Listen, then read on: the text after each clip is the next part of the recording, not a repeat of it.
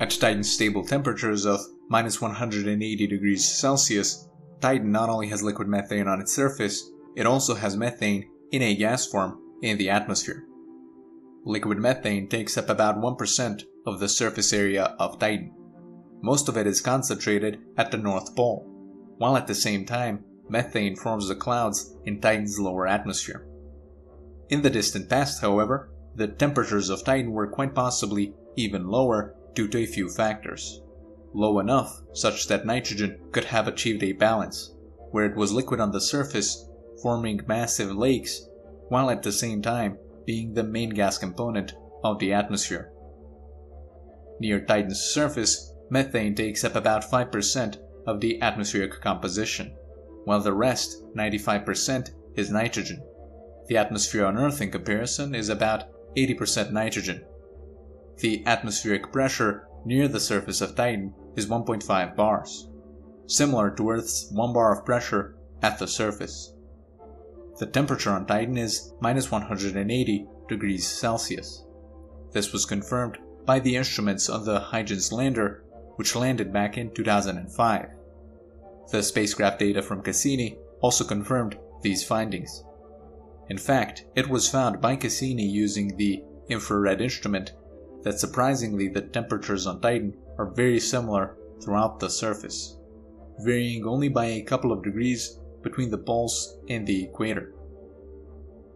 Despite this extreme stability of Titan's surface temperatures, that doesn't mean that it was always the same. Quite possibly, it was colder in the distant past. There are many things that could have contributed to Titan being colder, and that is going to be looked into later in this video nitrogen at 1 bar on Earth melts at minus 210 degrees Celsius, and it boils at minus 196 degrees Celsius. Because of the similar atmospheric pressure between Earth and Titan, that also means that the boiling and melting points of nitrogen are also similar. So all that needed to happen in the past for Titan to have liquid nitrogen lakes was that over its vast 4.5 billion year lifespan, the temperatures at some point needed to be very approximately about minus 200 degrees Celsius, only about 20 degrees Celsius lower from the current minus 180 degrees Celsius. Besides the temperature condition, another condition that needs to be met is that Titan had to have at least a somewhat similar atmospheric pressure as it does now. Although nitrogen lakes do have a good possibility that they once existed on Titan, global nitrogen oceans don't have as good of a chance. In one of my videos, I calculated that if all of the atmosphere of Earth froze, if it was evenly distributed, then the frozen atmosphere would form only a 9 meter thick ice layer. Similar layer thickness would also be true if the atmosphere was magically turned into a liquid on a flat surface. The water ocean of Earth, on the other hand, covers 70% of the surface, but it is on average 3,500 meters deep. So basically, there is a really tiny amount of atmosphere compared to how much water is on Earth. There is about 280 times more water on Earth in terms of kilograms compared to how much there is the atmosphere. The water ocean of Earth has a similar mass to that of Dione, a major moon of Saturn 1,100 kilometers in diameter, while the mass of Earth's atmosphere is comparable to Hyperion, as they almost have the exact same mass. Hyperion is another moon of Saturn. And if we were to compare spheres, a sphere entirely made out of solid nitrogen, which represents Earth's atmosphere, would be 220 kilometers in diameter, while an entirely water ice sphere, which represents the Earth's ocean, would be 1,400 kilometers in diameter. Of course, these numbers are excluding any potential compressional effects. Considering that the atmosphere of Earth is 1 bar and Titan's is 1.5 bars at the surface, and considering that both are mostly nitrogen, that then also tells us that a global nitrogen ocean that covered every piece of land likely did not have as good of a chance at existing compared to just nitrogen lakes. Even if one third of the nitrogen in the current atmosphere of Titan turned into liquid, even then a global ocean would be unable to form. although technically a liquid layer about 5 meters thick should be able to form if a third of the atmosphere turned into liquid, that could only be on a flat surface.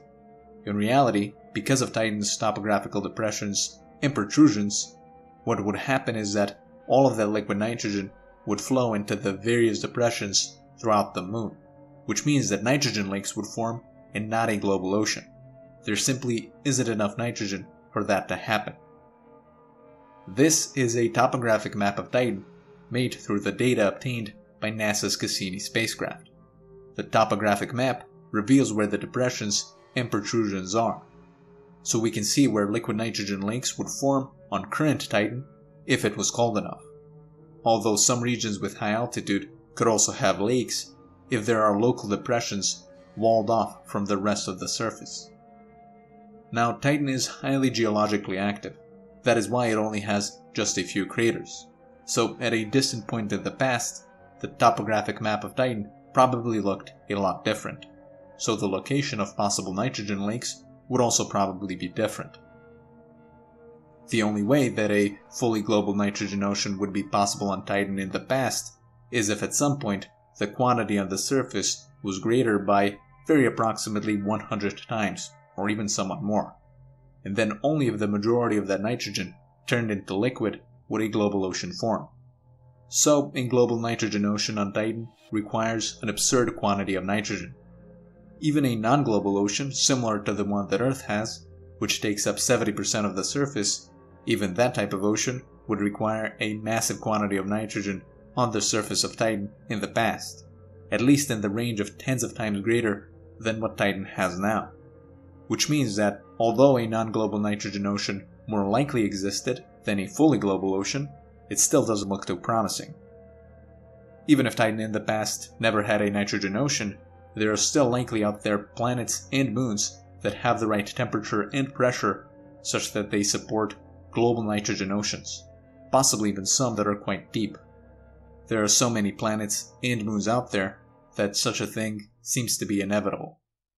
The low end estimate for the visible universe is that there are 40 sextillion planets. This massive number implies that there are some really bizarre planets out there. So, what could have plausibly contributed to Titan's surface temperatures being lower in the past, such that they allowed for liquid nitrogen lakes to exist? Well, for one, the sun was less luminous in the past. At about 4.5 billion years ago, shortly after it formed, it was about 75% of the luminosity of the sun today, and it slowly increased from that point onwards.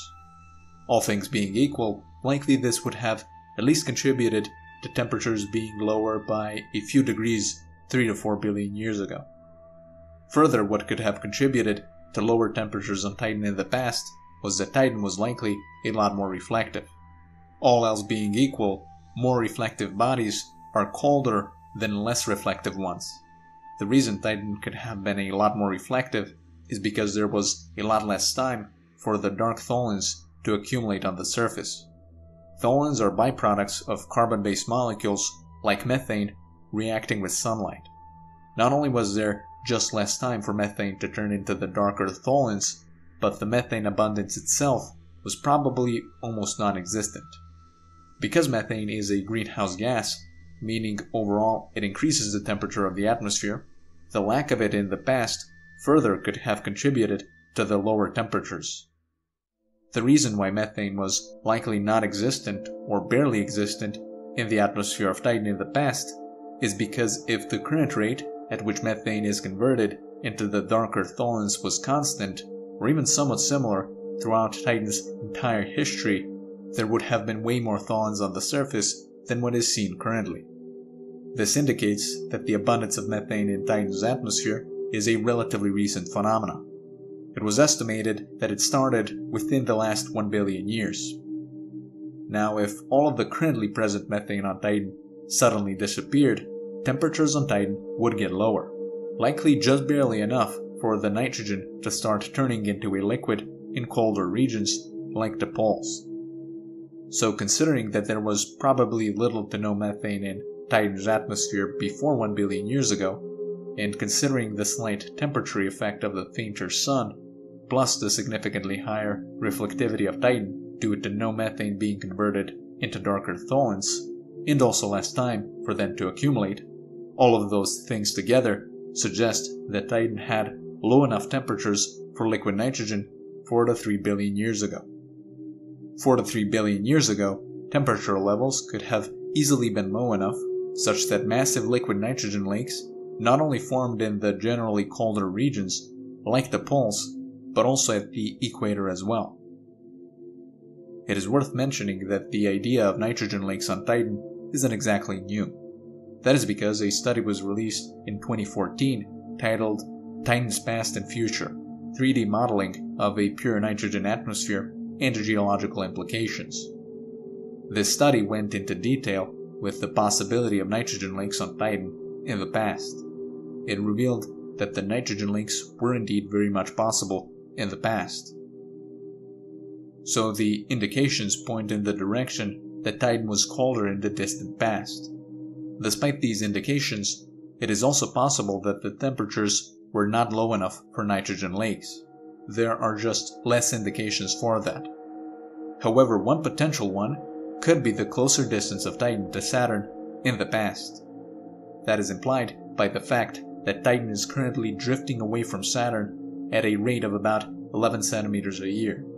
Assuming a constant rate at which it moved away, that would mean that 4 billion years ago it was closer to Saturn by around 440,000 kilometers, so closer by a third of its current distance. This maybe could have caused greater heating coming from friction within the interior due to an increase in tidal forces. However, how much the closer distance would really have changed anything in terms of surface temperatures is very hard to say, especially when we have all other factors that worked towards the lower temperatures. Still, Titan is so old that there could have been both hotter and colder periods along with various pressure levels. So there was plenty of time along with opportunities for nitrogen lakes to form. Titan is highly geologically active. That is why its surface is relatively young, between 100 million to 1 billion years old. Out of the current large scale terrain types, the newest one is the dark, organic rich dune fields at the equator. The dune field layer sits on top of an older, plain layer, which is coated in organics to a varying degree.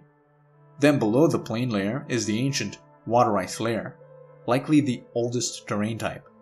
And although the water ice layer is typically below the plains and the sand dunes, in some areas it is actually on the top and is visible fully, such as in the Xanadu region. Considering the age of the surface and the relative age of the terrain types, the Xanadu region, which has the rigid, ancient water ice exposed on the surface, potentially due to the water ice layer being the oldest layer, Xanadu also maybe has marks of very old nitrogen lakes or even rivers when it was cold and pressurized enough such that nitrogen lakes formed at the equator. Polar regions, maybe in some rigid water ice rich areas, hold the marks of the more recent nitrogen lakes. The more recent nitrogen lakes were probably there because temperatures are generally a bit lower on the poles, giving more room for nitrogen lakes to exist at likely atmospheric pressures. Hopefully, the high geological activity of Titan didn't erase every trace of these nitrogen lakes, so that there is at least something left for Dragonfly to detect. Despite the current surface of Titan being between 100 million to 1 billion years old, Titan itself is 4.5 billion years old. We know that because the crater density of major neighboring moons indicates such an age. And we know that Titan is related to them because of them all orbiting around the equator of Saturn, except for Iapetus. Still, all major moons of Saturn have a similar water to rock content ratio. So, considering their similar orbital inclination, along with a similar overall composition, those two things together only point towards the fact that they all formed out of the same matter that was floating about in a disk that was orbiting around the equator of early Saturn some 4.5 billion years ago. In fact, nearly all significant celestial bodies in the solar system formed about 4.5 billion years ago. so there was plenty of time for Titan to go through all sorts of different periods, including some during which there were possibly nitrogen lakes.